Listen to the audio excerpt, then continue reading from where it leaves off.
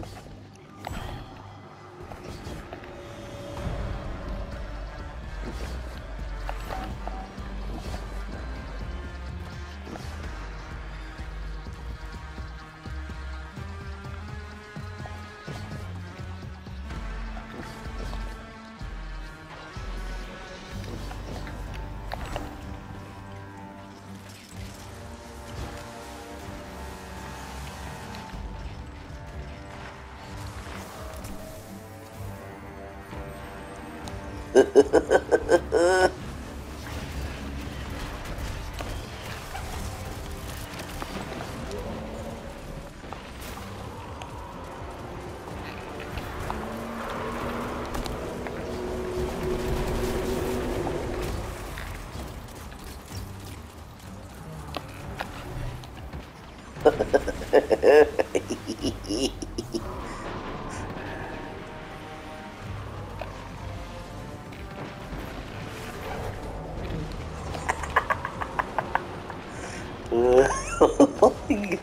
oh.